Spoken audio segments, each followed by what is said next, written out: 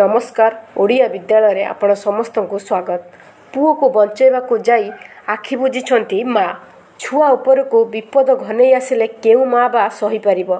ନିଜ ଛୁଆର କଷ୍ଟକୁ କେବେ ବି ସହିପାରିବେନି ମା। କାରଣ ଦରକାର ପଡ଼ିଲେ ଛୁଆ ପାଇଁ ନିଜ ଜୀବନ ଦେବାକୁ ବି ପଛାଇବେନି। ଏପରି ଏକ ଘଟଣା ଘଟିଛି ଯାଜପୁର ଜିଲ୍ଲା ଦଶରଥପୁର ତଳିଆ ପଞ୍ଚାୟତ ଦେଉଳବାଡ଼ ଗାଁରେ। ମୃତ ମହିଳାଙ୍କ ନାଁ ହେଉଛି ପ୍ରିୟଦର୍ଶନୀ ରାଉତ। ଆଜି ସକାଳେ ତାଙ୍କର ଯେଉଁ ପୁଅ ଥିଲା ତାଙ୍କର ଦେଢ଼ ବର୍ଷର ବର୍ଷକର ପୁଅ ଶିଶୁ ପୁତ୍ରକୁ ଶୁଆଇ ସେ ଘର କାମ କରୁଥିଲେ କିନ୍ତୁ ହଠାତ୍ ତାଙ୍କ ଆଖି ଆଗରେ ପଡ଼ିଥିଲା ଏକ ନାଗ ସାପ। ସାପଟି ତାଙ୍କ ପୁଅ ଆଡ଼କୁ ଜୋରରେ ମାଡ଼ି ଯାଉଥିଲା ପୁଅଟି ସାପ କବଳରୁ ରକ୍ଷା କରିବାକୁ ଧାଇଁ ଆସିଥିଲେ ପ୍ରିୟଦର୍ଶନୀ କିଛି ଉପାୟ ନ ପାଇ ସାପର ଲାଙ୍ଗୁଡ଼ ଧରି ଫୋପାଡ଼ି ଦେବାକୁ ଉଦ୍ୟମ କରିଥିଲେ କିନ୍ତୁ ଏହି ସମୟରେ ସାପଟି ବୁଲି ପଡ଼ି ତାଙ୍କୁ ଚୁଟ ମାରି ଦେଇଥିଲା। ସଙ୍ଗେ ସଙ୍ଗେ ପରିବାର ଲୋକ ପ୍ରିୟଦର୍ଶନୀକୁ ଯାଜପୁର ମୁଖ୍ୟ ଡାକ୍ତରଖାନାକୁ ନେଇଯାଇଥିଲେ ମାତ୍ର ସେଠାରେ ଡାକ୍ତର ତାଙ୍କୁ ମୃତ ଘୋଷଣା କରିଥିଲେ। ବର୍ତ୍ତମାନ ଏହି ଖବର ପ୍ରଚାରିତ ହେବା ପରେ ଗାଁରେ ପୁରା ଶୋକାକଳ ପରିବେଶ ସୃଷ୍ଟି ହୋଇଛି।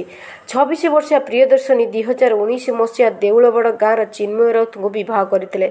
ଦୁଇ ହଜାର କୋଡ଼ିଏ ମସିହାରେ ସେ ଏକ ପୁତ୍ର ସନ୍ତାନକୁ ଜନ୍ମ ଦେଇଥିଲେ। କିନ୍ତୁ ବିଧିର ବିଧାନ କିଛି ଥିଲା ଅଲଗା।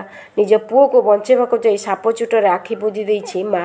ନିଜ ଛୁଆ ଉପରକୁ ବିପଦ ଆସିଲେ ଯେଉଁଠି ଯେଉଁ କୁହାଯାଏ ଯେ ମା ମାନେ ନିଶ୍ଚିତ ଭାବରେ କେବେ ବି କଷ୍ଟ ସହିପାରନ୍ତିନି ସେମିତି ଉଦାହରଣ ଦେଇଛନ୍ତି ମା ଜଣେ।